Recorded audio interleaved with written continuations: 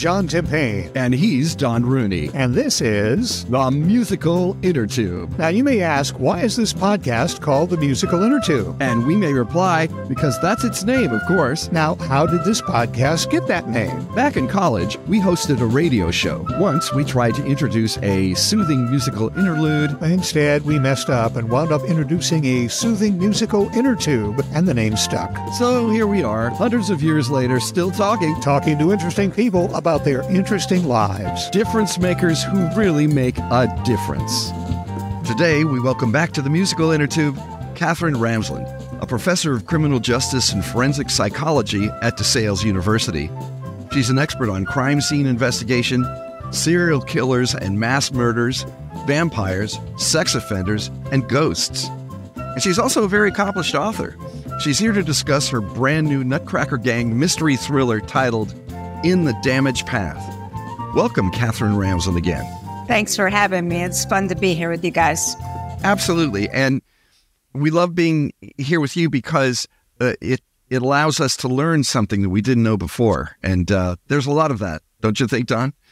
oh, yeah. Yeah. We're Yes. total idiots. Anytime we can have somebody smart on the program, we're really, really grateful. Yeah. So I'm going to read a passage from uh, your novel, Katherine, in Okay. which I think the the image of the damage path steps forward. It, it steps forward in several ways in the book, and I hope you comment on it after I'm done. The tornado veered to the left and seemed to consider revisiting us. I tensed as I sensed it looking at me, but then it swung away as if a sudden blast of sirens had deterred it. A couple near us hugged each other and exclaimed over what they'd seen. The sky cleared, yielding enough of the fading light to see glimpses of the destruction below. Downed trees, piles of debris, broken fences, and flung vehicles. In one place, the skeletal frame of a big rig blocked the road. My eardrums ached. More sirens cut through the air, along with flashing red lights. As Mora had said, if Bruder were truly suicidal, he could exploit the chaos to complete his plan. But chaos could serve him in other ways too. I felt his eyes on me. He wanted something. I drew my arms together, aware he could carve out a more malignant damage path than this tornado had just done. Woo! I like it. Oh, yes, it's wonderful. So, Katherine, the metaphor of the damage path, uh, talk a little bit more about that. This all started with my research in weather. And I had done weather, a hurricane for the previous novel. And I love tornadoes. I don't know why. I grew up in Michigan, I guess. So we, and that, that sense of, of um, tension in the air I thought was really perfect for this. And then I saw that phrase, damage path, as a way for tornado scientists to understand the behavior of a tornado. So they studied all the destruction that came, how long the tornado went, how wide it was, how much force, what kind of damage it caused. Um, and I realized that's so much like profiling a serial killer that you don't know. You have you learn the behavior, you put everything you you find out into a database to compare it with others, the same way they do tornadoes. And so when my characters start to talk about tornadoes, and one of them is a forensic meteorologist, she mentions damage path. And right away they see the metaphor. That's that's exactly what we're doing. We're following the damage path of a serial killer to try to figure out where he buried his victims and we, we're going in blind in a way that you do with with a tornado. Um, but you do have a data database to use. You do have ways to analyze the behavior you see, thanks to people who came before you to study the damage path of either the human or the tornado. So I thought the metaphor was amazing. It, it's it's so perfect, and and in this particular moment, there's others seated throughout the novel, but Annie is realizing that uh, yes, uh, she just narrowly had. Narrow, I should say that Annie is the protagonist, if there is one in the novel. Uh, she's sort of the head of a team of of investigators uh, trying to catch uh, certain miscreants and trying not to give too much out. But she suddenly realizes, as you once did, that uh, there's another person who's carving his own damage path, and uh, he could make one even worse than the uh, the tornado. I thought that was beautiful. Yeah, and also one of the uh, one of the observations made was sometimes after a tornado, there's a there's a backdraft more, that can be more damaging, and sometimes there are spin-off tornadoes, and that's like a serial killer with accomplices or a serial killer who doubles back and does something else. So there was so much about the behavior of a tornado that I thought was really appropriate to this. And as a uh, former TV weatherman, I do have to kind of put an aside in here. Uh, when a tornado would come through the area where I live in central Pennsylvania, um, the people of NOAA, the National Oceanic and Atmospheric Association, would have to come through to officially confirm that it was a tornado, try to figure out the, the severity of it. Uh, and sometimes they would come through and say, well, no, this isn't a tornado. It's just straight wind damage because mm-hmm. that happens occasionally too. And people would be so disappointed. Yeah. Oh, a tornado didn't come through. This was just regular wind. well, said, that just happened to us. We thought we had three tornadoes last week, and it was two straight wind events with with a tornado. But yeah, they wanted it to be three tornadoes. Yeah. Well, because a straight wind um, can kick up a lot of, of power over yeah. a wider range. A tornado is limited to to the base and how yeah. wide it is. It could be a mile across, um, but to a, a straight winds can can hit a, a, much wider area and do a lot more damage. But I just thought that was interesting that people are just so in love with the idea of tornadoes that if a tornado didn't come through, they were kind of disappointed. Well, but in a way, it, it's like the podcasters in the novel who are playing off the serial killer craze and sometimes making stuff up to find, to link victims so that the, the bad guy is even worse than you, yeah. that we thought. And that's very much what we do see sometimes with podcasters is they're linking cases that may have no links whatsoever. But, but that same disappointment happens when it's not a serial killer. Yeah. And John and I are, aren't smart enough to link anything to anybody. So, so we're safe on that. the other thing I wanted to ask you about is John has introduced you as a uh, forensic psychologist. We know from, from TV and other sources that there are forensic scientists. And you just mentioned that there's a forensic meteorologist. There are, there are so many different uh, branches under the forensic title. Um, what is a forensic meteorologist and how do they work into uh, going into a, a, a, scene of, of carnage and death? Any kind of, of work done under the auspices of forensic means that they're doing it for the courts and the investigation system. Not all of them are scientists, though unfortunately, thanks to TV, there's this, this kind of idea that anytime you use forensics, it's science and it's not. It's really about the court system and sometimes it's just a, a technician who's, who's forensic or, but they're applying whatever it is they do to the court system or within the court system or investigative system. So if you're doing meteorology as a, as a weather scientist, but it's specific to criminal cases. Now that, now you add the forensic title in there. So you probably have more training um, in the courtroom and in the investigation process so that you can do a more knowledgeable kind of analysis of a scene. Like you might have, um, you know, an incident where it looks like somebody was accidentally killed during a weather event.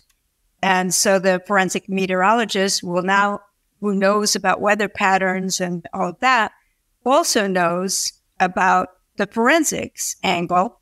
And they might spot things that an ordinary meteorologist or even an ordinary investigator wouldn't spot because they, they bring in two disciplines. It's kind of like forensic nursing.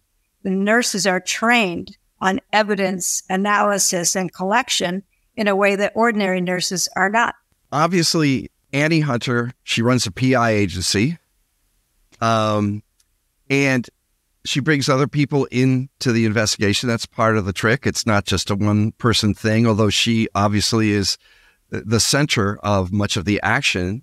Uh, I'm wondering, can you describe the different talents of her team? What what are some of the people she brings in? Because one of the wonders of your writing in these two Nutcracker novels so far is the team of investigators that Annie manages to assemble. They're they're a bunch of interesting types and they have great talents. I'd love to hear a little bit more about them. Okay, so the idea for me was to first have a primary team. And this primary team would always show up. They're always going to be part of these cases. That would be Annie, who is a forensic psychologist and then has the investigation angle. Her PI, a private investigator, is uh, Aidan Scott, who has many, many other talents as well. So he, he, works on investigations, but then he can also do construction and, and search and rescue and all these other things. Um, and then she has a data manager and assistant and confidant who's also a cadaver dog handler named Natra. Natra is based on a real person that I've worked with on, on death investigation teams. So that's my primary team. And then I bring in a digital examiner, uh, a cyber expert guy for whenever they need him. He, I would say he would be the fourth member if there were another primary member. Jax uh, is an attorney, so he shows up in, in two novels, but he might not show up in maybe the third novel or fourth novel. So he's not a primary member. He's an, he's an attorney and specifically a juvenile attorney because that was the cases they were working on. Then the, the forensic meteorologist will probably show up again, but she's not in the first novel. So, so she's not part of the primary team. Um, Annie has a network of these kinds of experts that she can call on depending on what she needs. And that was similar to an exhumation team that I used to, I actually wrote a book for with. And if he needed a radiologist or a geologist or, or uh, pathologist or anthropologist or you know whatever, but he didn't always need all of them. So they'd come in and out as needed, and that's what gave me the idea of having this network of experts um, who would be characters, but they wouldn't always show up the way the three primary, the core team would. And is this the way it works? I mean, in real world? It is the way it works. Um, you will have people who, who are used to working together, and if, if they have a need, they'll call on that person and then that person maybe knows somebody or bring, you know, bring it in. I know our exhumation team, I guess would, I'd say we had a core of maybe six who always showed up, but in the wider arena, uh, probably about 20 people who we could bring in and out. Because supposedly, if you have a, a person who's recently been buried, well, you need a pathologist. But if you only have bones, you don't need a pathologist, you need an anthropologist, specifically a forensic anthropologist, because they would understand things like like wound trajectories, uh, you know, think saw marks on bone, things like that. So, but you don't need to bring your pathologist in on that. But you definitely need the central people, the manager, the person who keeps all the records, um, the criminalist who knows how to handle evidence. So the, I think that team gave me the idea and I like the flexibility because, you know, you don't want to jumble your novel with so many characters that people are just like, okay, we had that person before. And I don't want to just mention them just because they've worked on Annie's team. I want only those three. And even sometimes her daughter comes in and out. She's in the first one. She's not in the second one. She'll come in on the third one and she sometimes contributes. How many of these do you have mapped out already, Katherine? I have. Uh, I'm working on the third one. The fourth one is in my mind at this mm, point. Okay. And I have some short stories also going on with with that same team. It started with a short story. Actually, it was for a a, po- a Writers Police Academy anthology. It was to benefit police, and that's where the the first kernel of this team was born was in a short story. Now, um, a lot of, uh, again, popular media that we've been exposed to, when you get a private eye type of person like Annie is as your protagonist, there is a huge uh, uh, propensity to make the police really dumb. And the police are not dumb in yours. And, and I would venture to say that having worked on a couple of these teams police aren't really dumb, that they know what they're doing and they go about their business in a very methodical way to make sure that, again, thinking ahead, whatever th- they find in this case will hold up in court. Right. Is that another goal of yours in these books? Is to is to portray how things actually happen with a little bit of you know dash thrown in, a little bit of suspense, like Well, you know sitting mean- out a tornado. Yeah, a good question. Uh, Annie's ex-husband is is a detective, and so that supplies the conflict because she needs him, he needs her. They have a he has a grudging respect for her, but on the other hand, he doesn't want her interfering with his investigation. And so, certainly, the when I've worked, and I I do some death investigation consulting, so uh, I typically will work with cops who who do want to understand or do want to to work with the the data that we have. Um, I I'm not going to say you're not going to find some cops who really, you know, aren't up on things. You, you definitely have them, but um, those who are going to be working with consulting teams or who even respect PIs, because a lot of them don't, uh, they they'll be more open and probably more educated in that in this kind of um, treatment. But you know, you oh in in fiction, you always have to keep that conflict going. So you don't want to build a team where oh everybody loves working with each other. You know? you want to build teams that that there's they have to work together in some ways, but really don't want to. And that's certainly the case with Annie and her husband. But even though it wraps up uh, for them in a in a good way, throughout there's this I've got my job, you've got yours, stay in your own territory kind of thing. But I do I do like to show how it seems to me police will work with us. Don points out something that you do see in 90% of um, of crime shows on television, which is the uh, you know the dumb chief of police who insists on it's got to be this way, and we always turn to each other when we're sitting on the couch watching this and going, "He's wrong." we don't know it yet, but he's the guy who's wrong and is going to force everything to be that much worse, that much harder.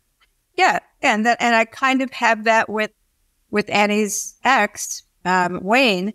Is he's he's sort of a long suffering. Oh my God, you've been on this forever. And nothing's going to happen. But on the other hand, he's curious. Oh, you have a new forensic technique going on. I'd like to see what happens. So to his credit, he arrives at the right time to take over, um, but certainly dragging his feet because you know it's his ex-wife.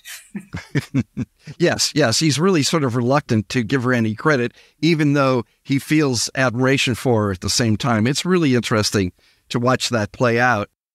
We'll return to our show in just a moment, but first, here's a soothing musical interlude.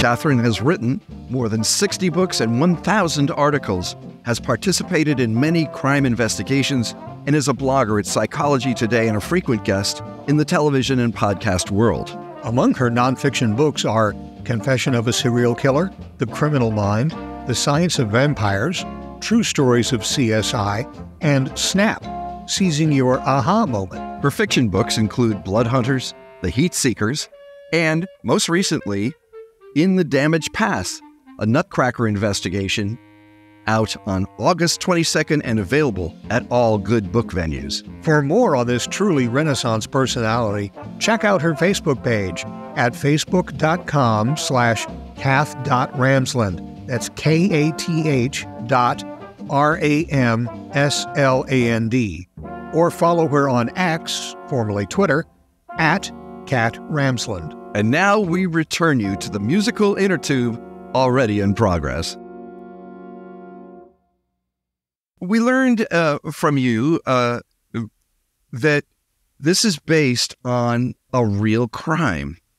Can you talk about how you found out about that crime and what? uh, Because I'm I'm trying not to give the story away. I want everybody to read uh, this lovely novel in the Damage Path, and uh, and yet I really want to find out about what this crime was. I mean, it's it's hair raising, and uh, you know, talk about how you discovered that. Well, I like to weave more than one crime together. So in this novel, you have Annie's kind of doing her official work, which she gets paid to do. And she's going to a trial that's based on the coerced suicide case of uh, Michelle Carter when, when she basically talked her supposed boyfriend into um, committing suicide. So that's going on. But I, but I then take that and go, something else is happening here than what we see, and that that spins the plot.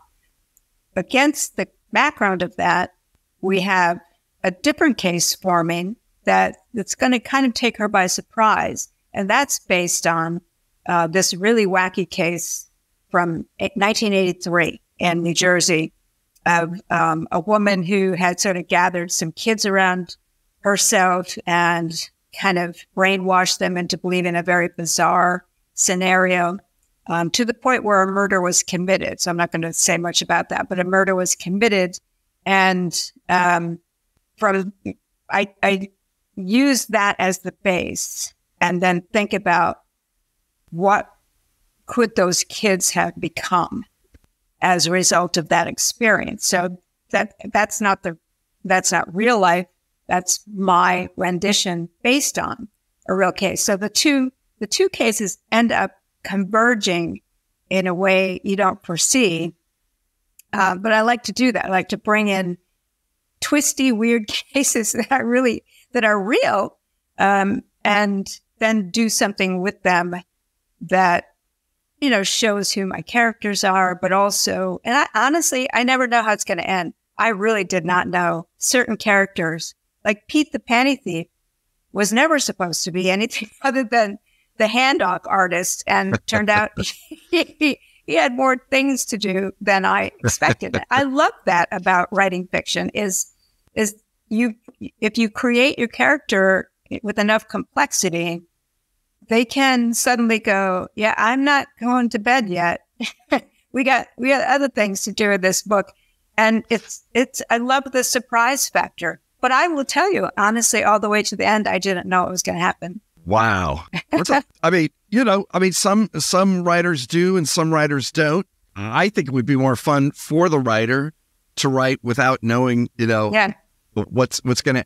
Uh, were you led to the ending that you fashioned, or did you have to impose it, or did you feel it was sufficiently inevitable. Can you t- tell us about that? Because obviously you've just described one point in the writing, which is where, oh, I don't know.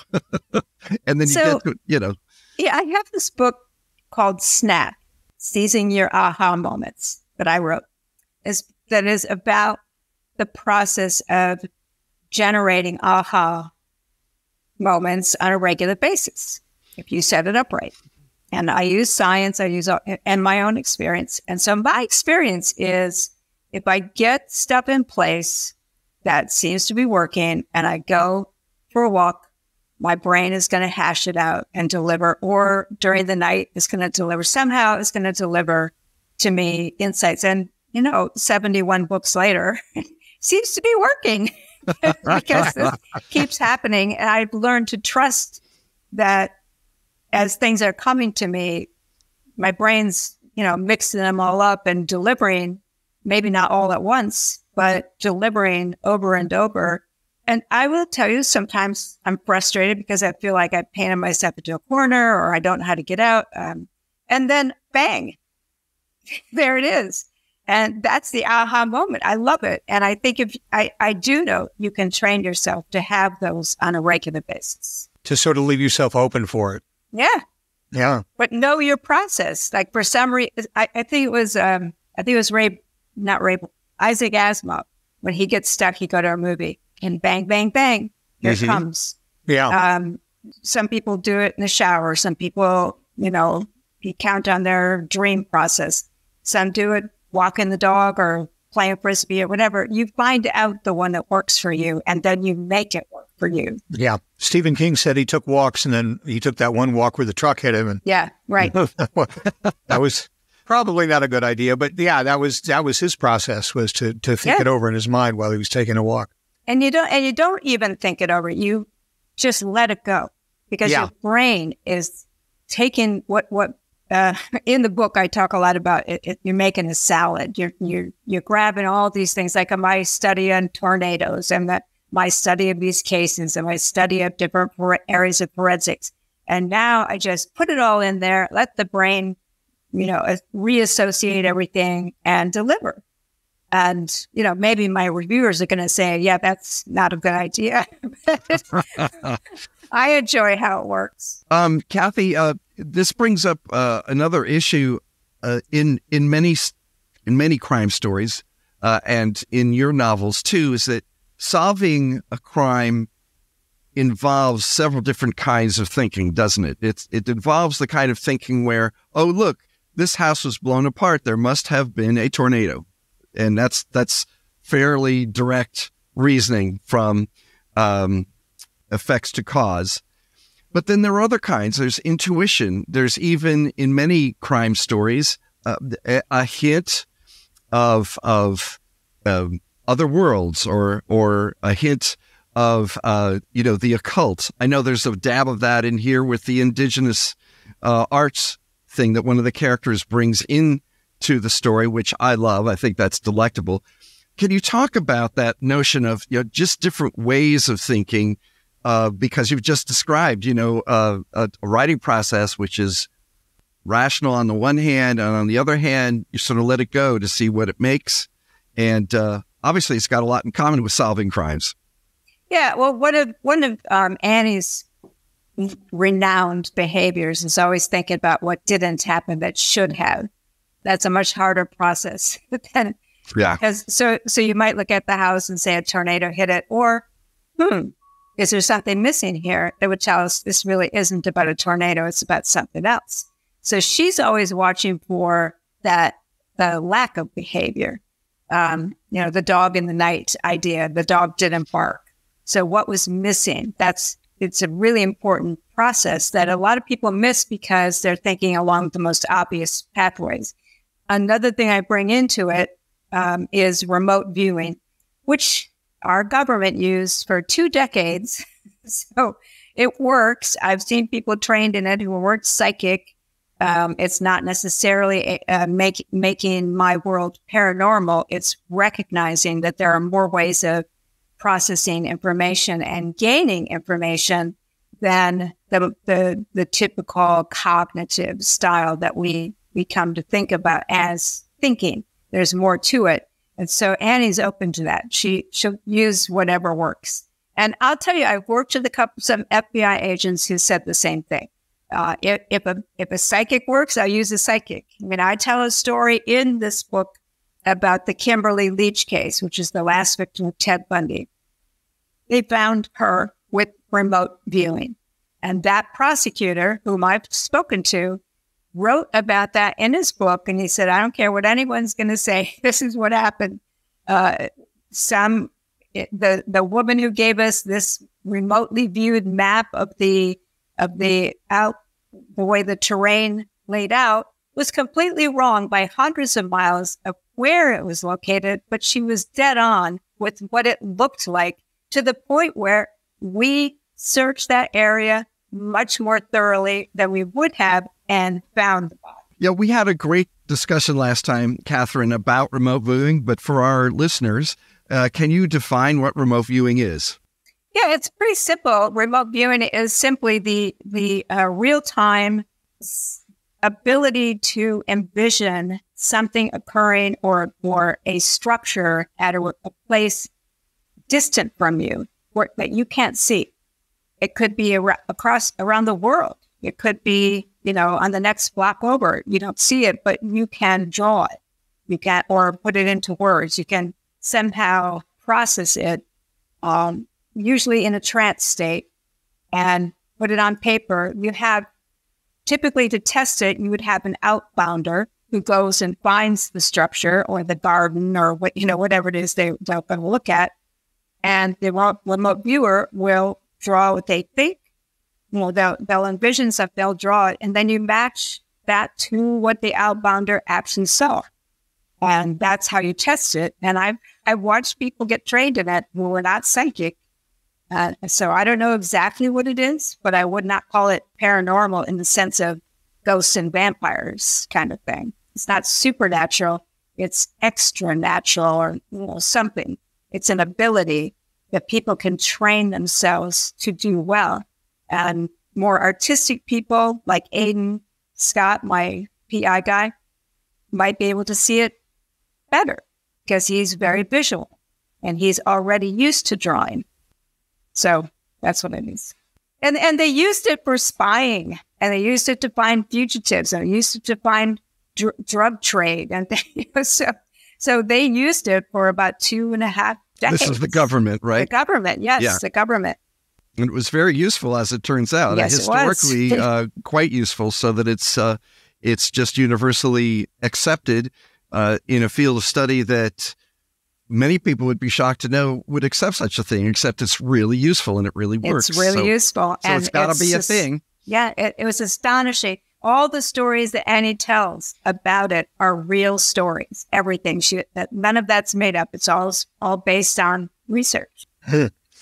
Let me let me um, talk about a wider problem that that both of your books uh, bring out. Both of your books have troubled kids uh, at the core, who are doing some really really violent and nasty things, and part of that seems to come from the problems that we have in our uh, uh, taking care of orphans. Uh, you know, in in our uh, juvenile justice system, these kids are put through those systems. They come out on the other end in a wrong fashion and do some terribly wrong things or are uh, mentally scarred by it. Um, it, it, it, from what you've uh, said in your books and what you've experienced in real life, this is a real problem, and we're not getting any better at it, right? We're not getting better. There certainly is corruption in some of the juvenile justice systems. I mean, I used the kids for cash case. That was real in Pennsylvania, where judges were sending kids to detention just so they could get kickbacks, uh, monetary kickbacks. Um, I also myself, when I started my own, before I even went to college, I was a in I lived in a group home uh, with kids coming out of the system. I was a counselor, just like one year older than them, and learning their stories. But also, I just spent the last year and a half talking to an accomplice to a serial killer who was only 15 when he was made to murder another boy.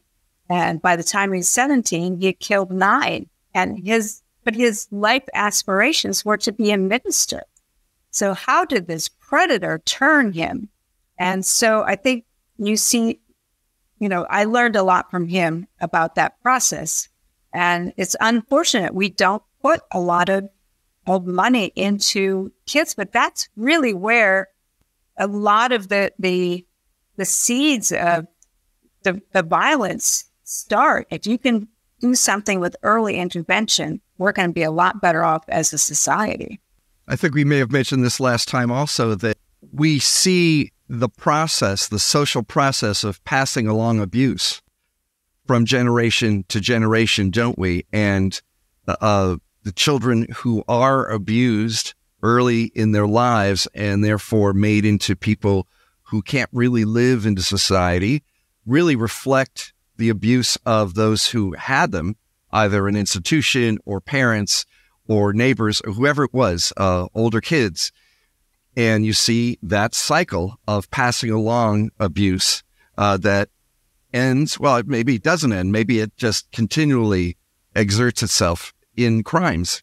It does. And I think there are, the more we learn, and getting back to the damage path, the more we learn from the damage done, the more we can think about how do we prevent this? Because we have more knowledge, we have we have better tools. It's exactly what we're trying to do with tornadoes. How can we alert people earlier so that there's less disruption or less loss of life? It's a very similar process. And Annie uh, Hunter, uh, your protagonist, uh, she's very sympathetic to the plight of children. She's also cagey about things like the paranormal. She'll use whatever works, right? Uh, Right. Reminded me of you, Katherine Ashley. Which is based on me. And in fact, Aha. I'll tell you what, how that happened.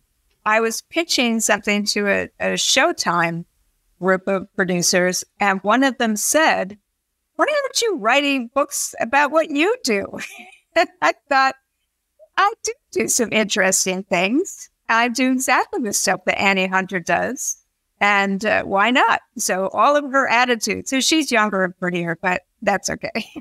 so yes, Annie Hunter is, replicates a lot of my life and my attitudes about things, especially about the paranormal. I'm open. I want it's this stuff to work, but I am very skeptical, and so is she. And she has certainly been able to go in and peel back the layers of some of the claims made by psychics and mediums and whatnot. But nevertheless, I want to believe, you know, there's that attitude. I, I would love it if something really turned out to be genuine. That's certainly me uh, through and through. The novel is in the damage path. It's the second novel in the Nutcrackers Investigations series by our guest, Katherine Ramsland, who is the pattern for Annie Hunter the main investigator, and very good read. Wonderful talking with you, Catherine. I hope you come back when uh, book number three, even before that. I'd love to. When book number three comes out. All right. Thank you for coming to the Musical Innertube once again. Well, thank you. I'm, I was. It was a lot of fun to be here. Great questions. Hey, Annie. Uh, I mean, Katherine. yes. And thank you for listening to the Musical Innertube. Our lovely little podcast is available everywhere good podcasts are found. Listen on your favorite platform, and if you like what you hear, please give us a good rating. And spread the word. Tell your friends about the Innertube and let them know they can subscribe to the podcast on our website, musicalinnertube.com. There you can listen to all of our podcasts, see pictures and biographies of our guests, and contact us. You can even click on the microphone button in the lower right corner to leave us a voicemail. And don't forget to leave your email address on our Talk to the Tube page so we can stay in touch. And you can email us directly at musicalinnertube at gmail.com. And as always, thanks to virtual band Car Radio Dog for our theme music.